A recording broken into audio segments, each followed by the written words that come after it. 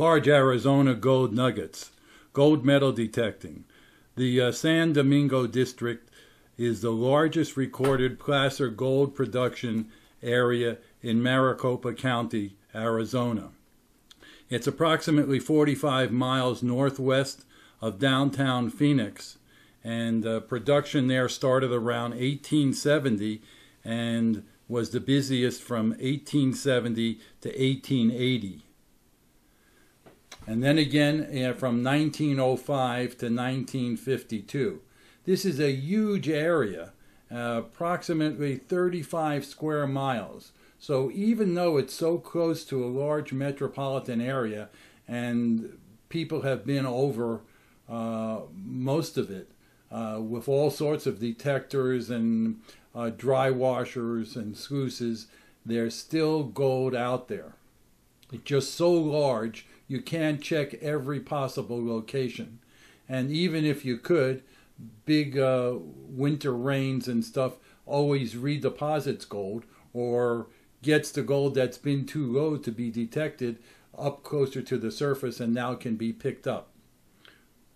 Now, I've watched a lot of videos and talked to prospectors when I've been out there, and the vast majority of prospectors say that most of the gold found here is very small gold.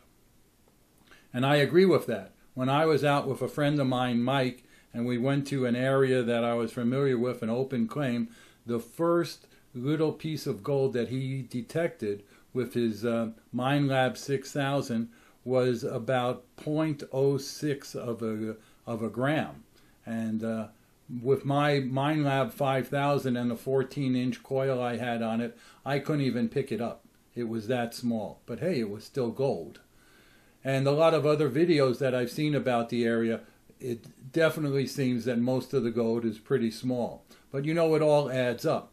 But the, the thing with this video is I want to say big gold is still out there. I know because I've seen it and I found myself a nice little chunk uh, about two months back.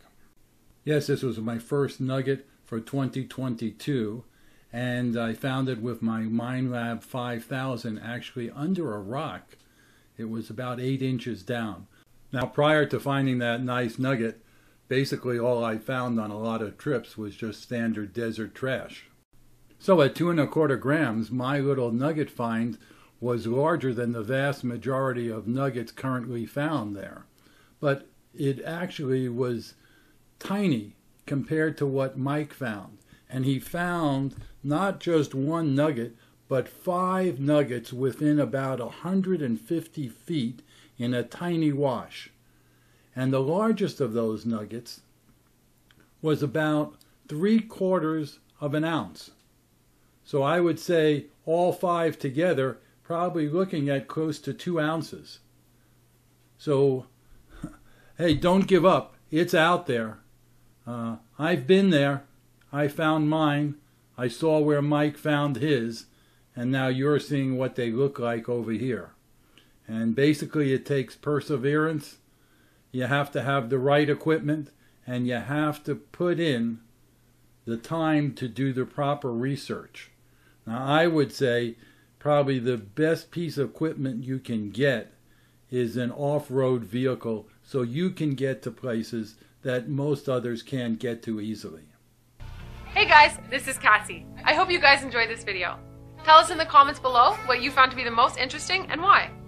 Also, if you haven't done so yet, make sure to hit the bell notification next to the subscribe button to stay up to date with all of our latest videos. Thank you for watching. I'll see you guys next time.